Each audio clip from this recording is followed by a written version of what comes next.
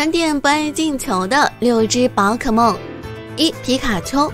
皮卡丘是小智最初的伙伴，也是他目前王牌之一。不过，熟悉皮卡丘的都知道，他最常待的地方不是那个带有闪电印记的精灵球，而是小智的肩上。只要他落地，要么就是在战斗，要么就是在充当保姆，和谁关系都非常的好。当然，各种出色战绩就不说了。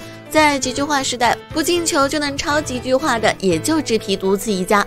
何况在之前，他还有专属的千万福特，盘面直接拉满。而且，就算不了解宝可梦的，也或多或少知道他。由此可见，他的人气是有多高了。二波克比陆丽丽。波克比是小智从峡谷底下带上来的宝可梦蛋，可是小刚见到后就主动承担起了孵化的职责。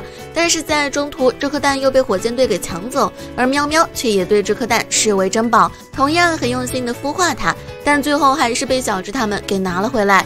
然而偏偏这时候蛋就要孵化了，刚好小霞又把蛋拿在了手中，于是波克比第一眼就认定了小霞。尽管后面小智他们和喵喵又举行了争夺波克比对战，可无论谁赢谁输，结果都已经注定了。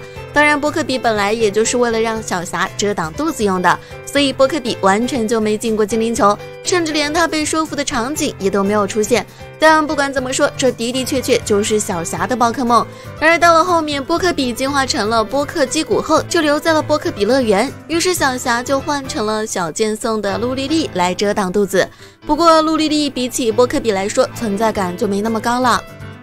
三波加曼。小光的波加曼和小智的皮卡丘一样，也是个同样不爱进球的宝可梦。大部分时间，他都会选择陪在小光身边，甚至为了保持体型，还会刻意不去进化，为的就是能够多陪在小光身边。小光在通过喵喵理会到他的心愿后，于是每次回归都能够在他的身边发现那只可爱又傲娇的企鹅。当然，最让人印象深刻的还是他被流星群砸的各种场景，以及和水水塔为了美洛耶塔争风吃醋的模样。不过，他对小光除了陪伴以外，还能够在长期旅行的时候帮他整理早上醒来乱糟糟的头发。要是把他收进球里，那也太不方便了。四牙牙，牙牙是爱丽丝常带在身边的宝可梦，只不过它不像别人那样抱在手里或者是放在肩上，而是选择将牙牙藏在头发里。不得不说，一般人还真的想不到头发里还能放宝可梦。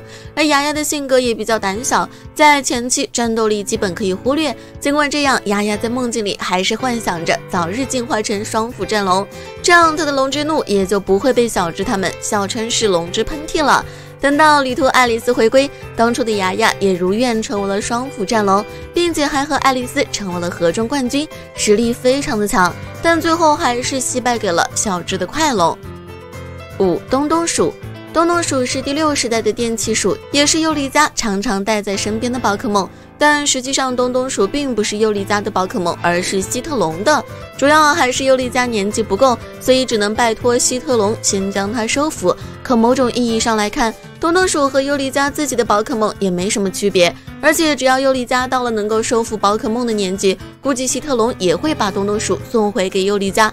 至于东东鼠的实力，那还是别抱多少期望了。毕竟它只是普通的电气鼠，与其这样，还不如想想尤里家会不会开局真就是一只基格尔德。那这样小智把主角让他，好像也不是不能接受。